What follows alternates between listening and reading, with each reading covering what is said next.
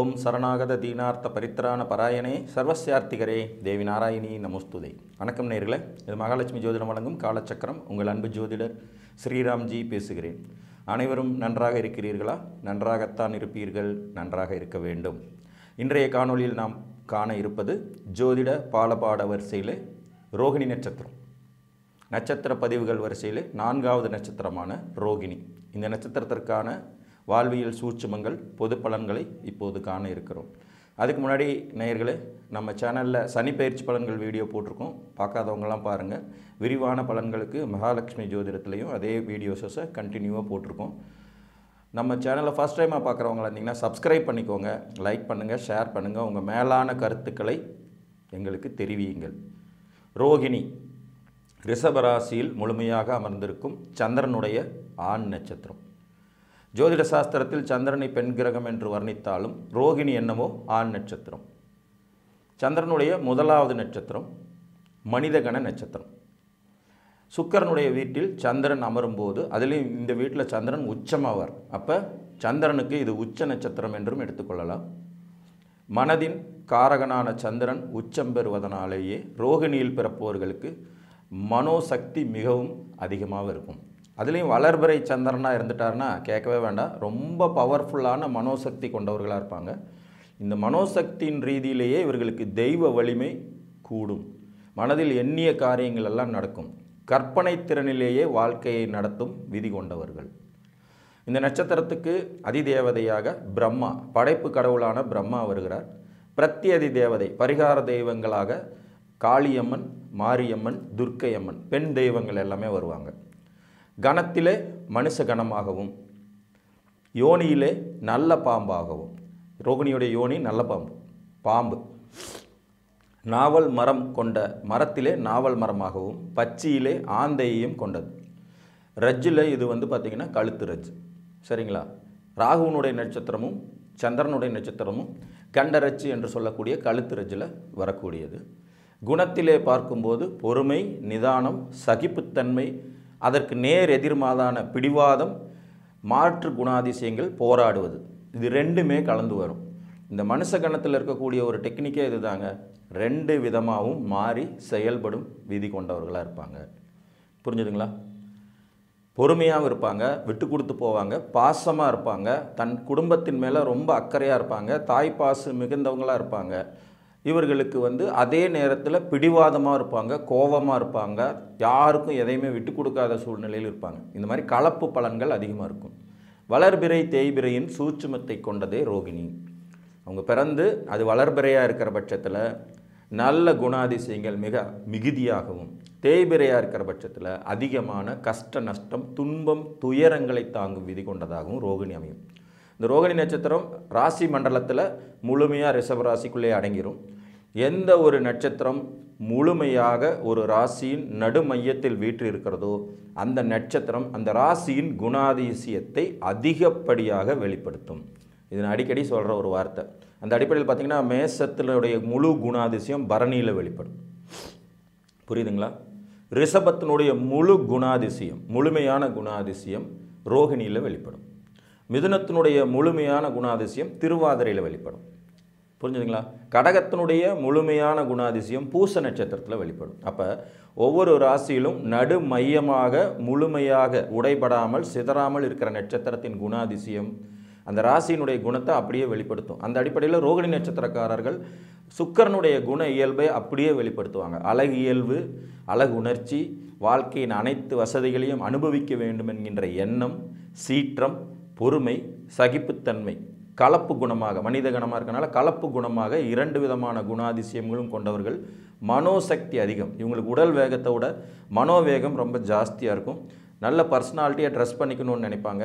நிறைய பிரயாணம் பண்ண ஆசைப்படுவாங்க. சந்திரன் சுக்கரனுடைய காம்பினேஷனுங்கிறனால இனிப்பு பொருட்களை அதிகமாக விரும்பி உண்பாங்க. சாப்பாட்டு பிரியர்கள்னே சொல்லலாம். ஆனால் அதுக்காக நிறைய சாப்பிட்டு வெயிட் எல்லாம் போட்டுற மாட்டாங்க. இனிப்பு பொருட்கள் மேலே அதிகமான ஆசை இருக்கும். வெளி இடங்களுக்கு சென்று வசிப்பதை அதிகம் விரும்புபவர்கள். சுற்றுலா பிரியர்கள்னே சொல்லலாம். அடிக்கடி டூர் போகணும் ட்ராவல் போகணும்னு நினைக்கக்கூடியவங்க ரகசியம் காப்பவர்கள் சிக்கனவாதிகள் தன் தேவைக்கு தகுந்தாற்போல் மற்றவர்களை பயன்படுத்தி கொள்ளும் சாமர்த்தியம் கொண்டவர்கள் தாய் அன்பு மிக்கவர்கள் தன் உடன்பிறப்புகளின் மேல் அதிக பாசமாகவும் நடந்து கொள்வார்கள். தன்னை சார்ந்தவர்களுக்கு ஒரு மாதிரியும் மற்றவர்களுக்கு வேறு மாதிரியும் செயல்படும் தன்மை கொண்டவர்கள். கிருஷ்ண பரமாத்மா தோன்றிய நட்சத்திரம். தன்னை அண்டியவர்களை காக்கும் வல்லமையை எப்படி மகாபாரத கிருஷ்ணர் செஞ்சாரோ அதே மாதிரி ரோகிணி நட்சத்திரத்தில் பிறந்தவங்களும் செய்வாங்க. இது தோஷ நட்சத்திரங்கள் வரிசையில் வரக்கூடியது தான். தாய்மாமனுக்கும் தாய்க்கும் ஆகாதுன்னு சொல்லுவாங்க. ஆனால் நடைமுறை பலன்களில் பார்த்தீங்கன்னா அந்த மாதிரி எதுவும் இல்லை. ரோகிணி நட்சத்திரத்தில் ஒரு குழந்தை பிறந்துருச்சுன்னா அதுக்கப்புறம் தாய்மாமன் நல்ல விருத்தி ஆகிறாருங்கிறது தான் உண்மை. குழந்தையை முதலடி முதல் முதலாக நேரடியாக தாய்மாமன் பார்க்கக்கூடாதுன்னு ஒரு எண்ணெய் சட்டியின் மூலமாக பார்த்து தோஷ நிவர்த்தி செய்து கொள்ளணுங்கிறது ரோகிணியினுடைய அடிப்படை விதி. அதை இன்றைக்கும் ஜோதிடர்கள் எல்லா பக்கமும் அதை சொல்லிட்டு தான் இருப்பாங்க. உத்தியோக வலிமைங்கிறத பொறுத்த வரைக்கும் ரொம்ப உடல் உழைப்பு இல்லாத உத்தியோகத்தில் இவங்க அதிகமாக இருப்பாங்க. கவர்மெண்ட் வேலைகளில் நிறைய நட்சத்திரம் இந்த நட்சத்திரத்தில் பிறந்தவங்க தான் அரசுத்துறை உத்தியோகங்கள் இருப்பாங்க. அலட்டிக்காமல் செய்யப்படும் வேலைகள் கலைத்துறையில் பிரகாசிக்கும் தன்மை ரோகிணிக்கு இயல்பாகவே உண்டு. கலைத்துறையில் பிரகாசிப்பது பாட்டு நடனம் இசை நடிப்பு டைரக்ஷன் ஒளிப்பதிவு சினிமா காவியம் மீடியா லைஃபு மீடியா சம்மந்தப்பட்ட தொழில்கள் பத்திரிகை துறை இதெல்லாம் இவங்களுக்கு சகஜமாக வரும். இன்சூரன்ஸ் துறைகளில் கொடிகட்டி பறக்கிற ரோகிணி நட்சத்திரக்காரங்களை நிறைய பேரை பார்க்க முடியும். இவர்களுக்கு பத்தாம் அதிபதியாக அதாவது ராசிக்கு பத்தாம் இடமா சனியோட வீடு வர்றதுனால கீழ்நிலை அரசு உத்தியோகங்கள் எல்லாத்துலேயுமே ஃபில் பண்ணியிருப்பாங்க. சொந்தமாக கனரக வாகனங்கள் வைத்து இயக்கிறது வாகன இன்சூரன்ஸ் போட்டு கொடுக்கறது அந்த மாதிரியான துறைகளிலும் இவர்களுடைய சாமர்த்தியம் மிகுதியாக வெளிப்படும். பொதுவாகவே ரகசியம் காக்கும் நட்சத்திரம் ரோகிணி. இவர்கள்ட்ட நிறைய ரகசியங்கள் இருக்கும். அதை வந்து பாதுகாப்பாகவும் கடைசி வரைக்கும் வச்சுக்குவாங்க. ஆண் என்றால் பெண் இடத்திலும் பெண் என்றால் ஆண் இடத்திலும் எப்போதும் எச்சரிக்கையாக இருக்க வேண்டும். ஏன்னா இவங்களுக்கு காதல் அப்படிங்கிறது கர்மா கர்மாவாக தொடரக்கூடிய விதியாக இருக்கும். அப்போ காதலினால் கர்ம பலனை அனுபவிக்கும் விதி கொண்டவர்கள் ரோகிணி நட்சத்திரக்காரங்க. ஸோ காதல் தோல்வி அதிகமாக ஏற்படக்கூடிய நட்சத்திரத்தில் ரோகிணியும் ஒன்று. அதனால் காதலிக்காமல் இருந்து பழகிக்கிறது நல்லது. அப்படி காதல் ஏற்பட்டு அது தோல்வியானால் உங்கள் கர்மா உங்களை தொடர தொடங்கிவிடும். மீண்டும் பிறப்பெடுக்கும் சூழல்களை உருவாக்கும். ரோகிணி நட்சத்திரத்துடைய முதலாம் பாதம் பார்த்தீங்கன்னா நவாம்சத்தில் மேச ராசிலேயே விழுகும். அதனுடைய இரண்டாம் பாதம் ரிஷப ராசியிலே விழுகும். அப்போ ரோகிணி நட்சத்திரத்தின் ரெண்டாம் பாதம் வர்க்கோத்தமம் பெறும். ரோகிணி நட்சத்திரம் ரெண்டாம் பாதத்தில் எந்த கிரகம் அமர்ந்திருந்தாலும் அவர்கள் வர்க்கோத்தமம் பெறும் விதி கொண்டவர்கள் ஆவார்கள். புரிஞ்சுதுங்களா? ரோகிணி நட்சத்திரத்துடைய மூணாம் பாதம் மிதுன ராசிக்கு செல்லும். ரோகிணி நட்சத்திரத்தின் நாலாம் பாதம் கடக ராசியில் வரும். சந்திரன் தன்னுடைய சுயமணிக்கே சொல்கிற மாதிரி அங்கே சந்திரன் இருந்தார்னா சந்திரன் அதே மாதிரி வரும். அப்போ ரோகிணியில் பிறந்தவர்களுக்கு வாழ்க்கையை அனுபவிக்கணும். இதுதான் மெயின் கேரக்டராக இருக்கும். வாழ்வியலின் சந்தோஷங்கள் அனைத்தையும் அனுபவிக்கணும். சுக்கரன்னாலே வாழ்க்கையை சந்தோஷமாக அனுபவிக்கிறது தான். சந்தோஷம் மேலும் சந்தோஷம் அனைத்து சுகங்களையும் எந்த வழியிலேனும் அனுபவித்து விட வேண்டும் என்கின்ற எண்ணம் கொண்டவர்கள். இதில் ஆண்கள் கூட பார்த்திங்கன்னா நிறைய நகை அணிவாங்க. ரோகிணி நட்சத்திரத்தில் பிறந்த ஆண்கள் கூட பொன் நகையின் மேல் விருப்பம் கொண்டவர்களாக இருப்பாங்க. அழகாக பல பலன்னு ட்ரெஸ் பண்ணிக்கிறதுக்குள்ள ரொம்ப ஆர்வமுடையவர்களாக இருப்பாங்க. தன்னை அழகுபடுத்தி பார்த்து கொள்ள வேண்டும் என்கின்ற எண்ணம் உடையவர்களாக இருப்பாங்க. பெண்களுக்கு இணையாக அலங்கார பொருட்களை பயன்படுத்தும் தன்மை ரோகிணியில் பிறந்த ஆண்களுக்கு இருக்கும்.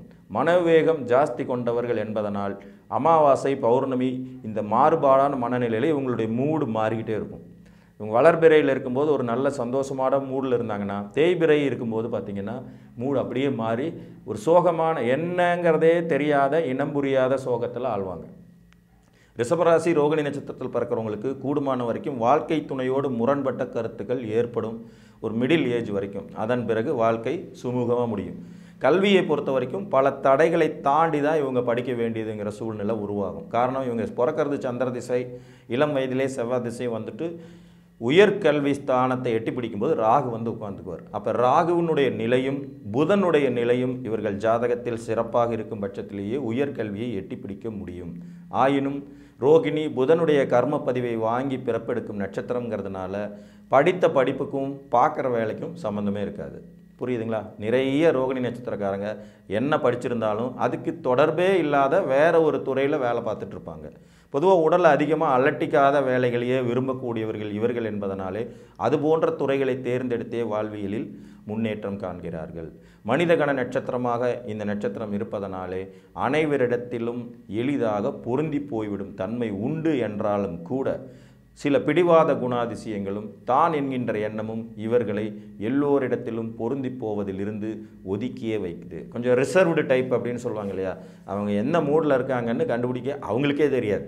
மற்றவர்களுக்கு தெரியறது ஒரு பக்கம் இருக்கட்டும். முதல்ல இவர்களுக்கே தான் என்ன மனோநிலையில் இருக்கிறோங்கிறது தெரியாது. மனநிலை மாற்றங்கள் அடிக்கடி ஏற்படும் தன்மை ரோகிணிக்கு பொருந்தும். அதே மாதிரி சந்திரன் வளர்வதும் தேய்வதுமாய் குணம் கொண்ட கிரகங்கிறதுனால இவங்க பொருளாதாரமும் பார்த்திங்கன்னா ஒரு சீரான முன்னேற்றத்தில் இருக்காது. வளர்வதும் தேய்வதுமாக தான் இருக்கும். ஒரு காலத்தில் நல்லா இருக்கிற மாதிரி தோணும். அடுத்து பார்த்திங்கன்னா அப்படியே டவுன் ஆகி கீழே வர மாதிரி இருக்கும். ஆனால் எப்படி இருந்தாலும் ரகசியமாக பல இடங்களில் பணத்தை பதுக்கி வைக்கும் தன்மை ரோகிணிக்கு உண்டு. ரோகிணி நட்சத்திரக்காரங்கள்ட்ட எப்போவுமே காசு இருக்கும். ஆனால் இல்லைங்கிறது மாதிரியே நடந்து கொள்வார்கள். மறைமுகமாய் பணத்தை சேமிக்கும் பழக்கமும் மறைமுகமாய் சொத்து சேர்த்து கொள்ளும் விதிகளும் மறைமுகமாய் தன்னுடைய உயில் இன்சூரன்ஸ் போன்றவற்றை வைத்து பாதுகாக்கும் தன்மையும் ரோகிணி நட்சத்திரத்துக்கு உண்டு. இது ஜோதிடத்தின் அடிப்படை குணாதிசயங்கள். மேலும் உயர்நிலை வகுப்புகளில் ரோகிணியை பற்றியும் ரிஷபராசியை பற்றியும் இன்னும் தெளிவான பல விளக்கங்களை தெரிந்து கொள்ள இந்த சேனலை தொடர்ந்து பார்த்துக்கிட்டே இருங்க. அடுத்து உயர்நிலை வகுப்புகள் தான் ஆரம்பிக்க இருக்கின்றன. மேலும் ஆன்லைன் கிளாஸஸை இதிலிருந்து செலக்ட் பண்ணுறோம் விருப்பம் உள்ளவர்கள் உங்களுடைய கமெண்ட்ஸில் அதை தெரியப்படுத்துங்க. அல்லது வாட்ஸ்அப் எண்ணில் தெரியப்படுத்துங்க. ஆன்லைன் வகுப்புகளில் சேருவதற்கு எனக்கு விருப்பம் உண்டு என்பதை நீங்கள் வாட்ஸ்அப் மூலமாக தெரியப்படுத்துனீங்கன்னா கூடிய விரைவில் ஆன்லைன் கிளாஸஸ் ஆரம்பிச்சிடுவோம்.